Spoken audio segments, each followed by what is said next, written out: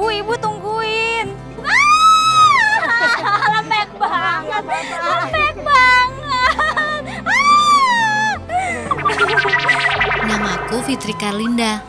Meski aku kuliah di sebuah perguruan tinggi di Bogor, aku jarang pergi ke Kabupaten Bandung. Padahal jaraknya nggak jauh-jauh amat. Tapi kali ini kusempatkan diri untuk nemenin Ibu Enggis nyari tutut. Barengan sama Epi anak bungsu ibu. Ya, sembari jalan-jalan. ibu biasa ngebar tertutut mentah ke kerabatnya. Biasanya ditukar dengan beras.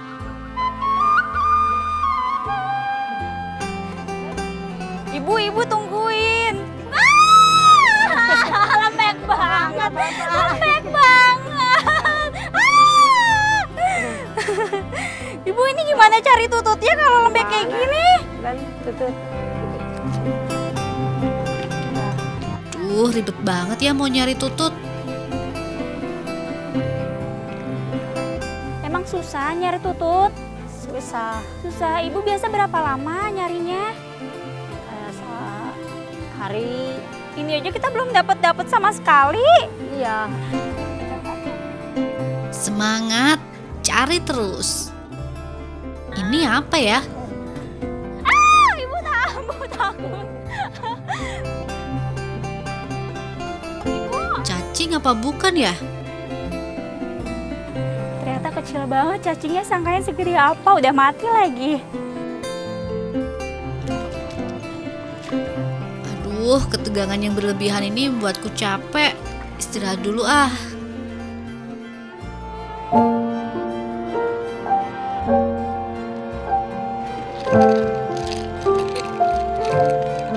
Sembari Epi lagi main entah ke mana, ibu cerita tentang kehidupannya.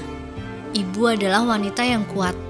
Sebagai seorang janda, ia sendirian banting tulang menghidupi anak-anaknya. Ibu punya delapan anak, tapi ia harus merelakan anaknya yang terakhir, kembaran Epi, untuk diasuh kerabat yang tinggal nun jauh darinya. Sejak bapak meninggal 4 tahun lalu karena sakit liver, kehidupan ibu dan keluarganya emang susah. Ditambah anak ibu yang tertua, Sofandi, jatuh sakit. Yang awalnya Sofandi bisa bantu ekonomi keluarga, kini nggak bisa lagi.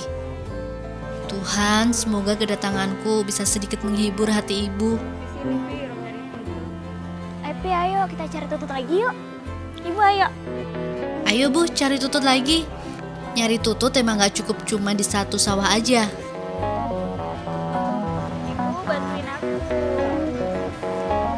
Tolong pegangin bentar ya. Ibu bantuin aku. iya Up, yeah. Nyemplung lagi deh.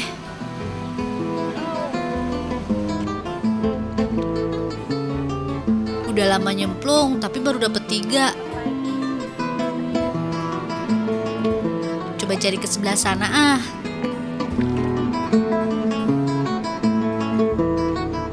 Dapat lagi tututnya. Ternyata bener banyakan di sini.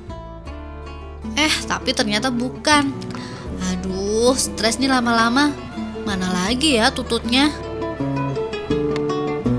Ternyata kalau nyari tutut harus pelan-pelan. Tunggu sampai Raya tenang biar tututnya kelihatan. Nggak bisa langsung digocrek-gocrek ternyata. Pantesan aku dari tadi nggak dapet banyak. Ternyata kata ibunya kalau tututnya udah ngambang itu tadinya udah mati. Jadi diambil yang masih nempel sama tanah atau yang tenggelam. Udahan ah. Neng Epi dapat berapa banyak? Banyak banget, aku cuma dikit. Ini digabungin aja, iya gabungin gabung. aja. Sama punya ibu juga. iya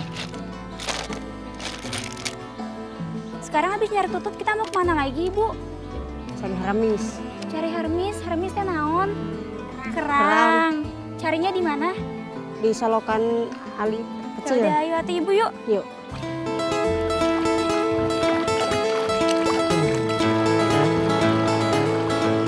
Keluar dari sawah, ternyata sekarang nyarinya juga masuk selokan. Ya udahlah, tetap semangat aja. Ibu aja yang udah tua tetap semangat. Masa aku yang masih muda kalah sama ibu? Yuk ibu. Kata ibu nyari Hermes emang agak gampang-gampang susah. Gampangnya karena nyarinya bisa di selokan terdekat. Susahnya mesti pakai acara nunduk-nunduk begini. Pegel. Ibu, Apa? belum kayak gini bukan? Dia. Coba lihat. Ternyata Hermes kayak gini. Kalau cari Hermes nggak terlalu susah, tinggal dikeruk, tinggal diayak aja. Kecil juga ya ukurannya.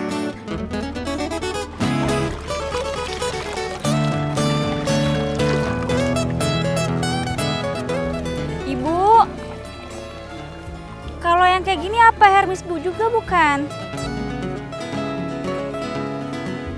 Nu iya, Susu.